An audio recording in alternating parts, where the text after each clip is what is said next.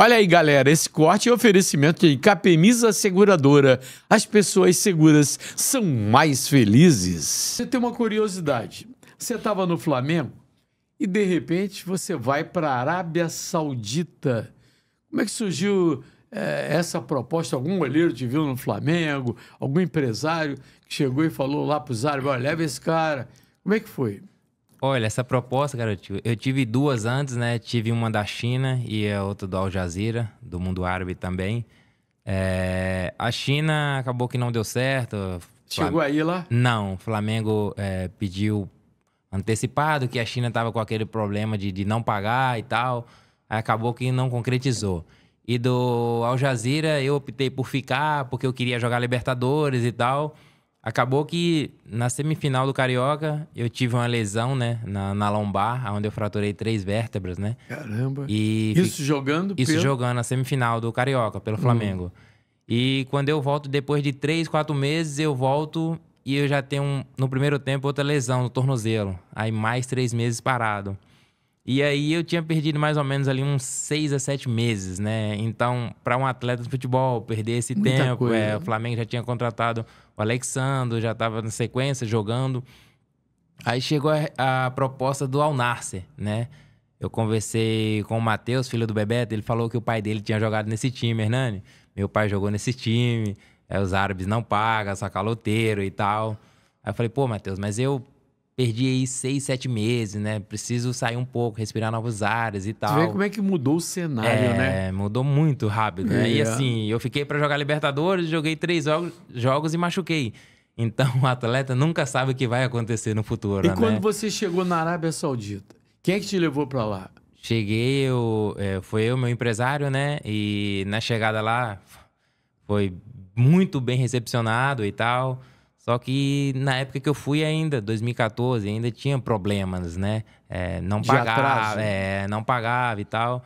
Acabou que eu, o treinador me ligou 15 dias seguidos, tipo, falhava um ou dois dias, ligava no outro dia, vem, Hernando, você vai ser meu goleador, vem, vem. E acabou quando eu chego lá, ele não colocava eu para jogar.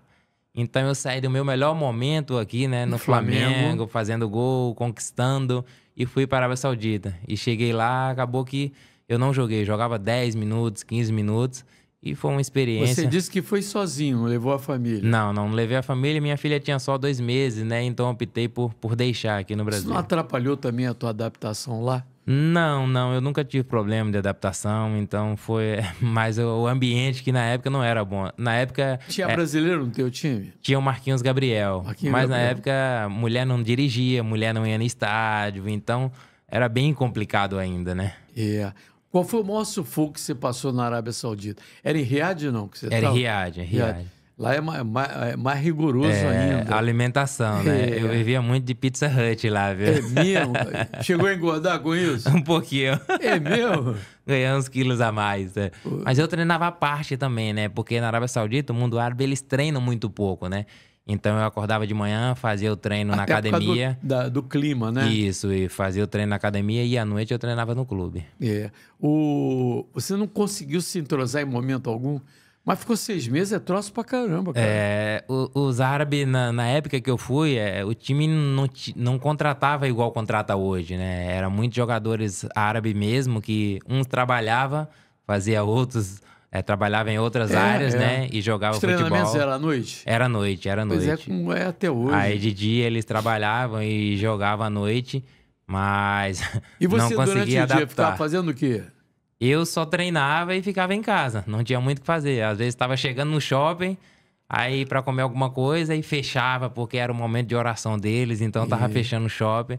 Isso aí acontecia cinco, seis vezes ao dia, então era bem difícil encontrar o shopping aberto. Chegou a, a, cair em depressão?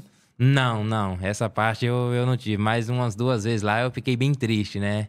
Ligava para casa e pensando na situação, porque é, o mundo árabe, né, na época, não era fácil jogar lá. Quando você saiu de lá, salário continuava atrasado? Ainda estava atrasando ainda. Atrasava é. quatro meses, Mas cinco quando meses. Você chegou a um acordo para sair de lá? Eu rescindi unilateral para sair de lá porque eles não, não davam minha liberação, não liberaram meu passaporte. É, sempre e foi, assim. É, foi esse perrengue para sair de lá. Agora, já dava naquela época para perceber que tinha um projeto para a Arábia Saudita é, ser mais um centro de futebol, como é hoje? Não, eu nunca. Não. A gente não imaginava que seria assim. Porque Até, o Ribeirinho é, tinha passado antes por lá também. Sim, mas as histórias que a gente ouvia da Arábia Saudita eram histórias ruins, né? Assim como o Matheus me alertou, Hernando, meu pai jogou lá, os caras não Mateus pagam. Matheus tá lá em Portugal, né? Isso, isso. Ele falou: meu pai jogou, não paga. E lá também os árabes estavam oito meses sem receber, nove meses o jogador árabe, né? Então, eu nunca imaginava que ia virar essa potência desse futebol mundial aí. E você deixou dinheiro lá ainda para sair? É, foi para a justiça, acabou que eles, eles para eu assinar meu contrato, eu tive que pegar 50% do primeiro ano na mão, né? Eu falei, eu só assino meu contrato se me pagarem 50% do primeiro ano. E foi assim que eu consegui pegar esse dinheiro. E ficou só nos 50%? Aí ficou nos 50%. É, é. mesmo? É.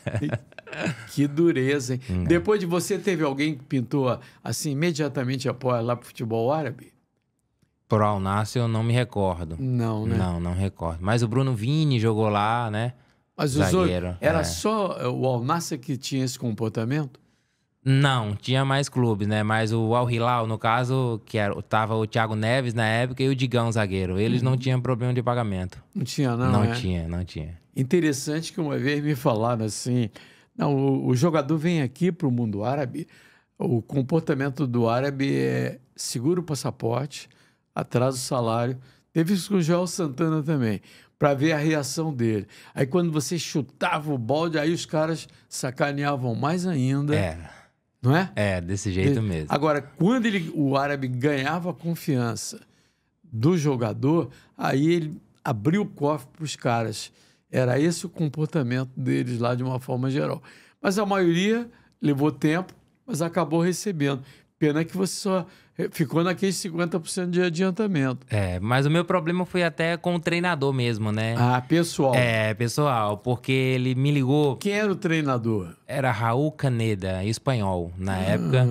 E ele me ligou bastante para eu ir para lá e depois que eu fui, ele não não colocava eu para jogar. Colocava 10, 15 minutos.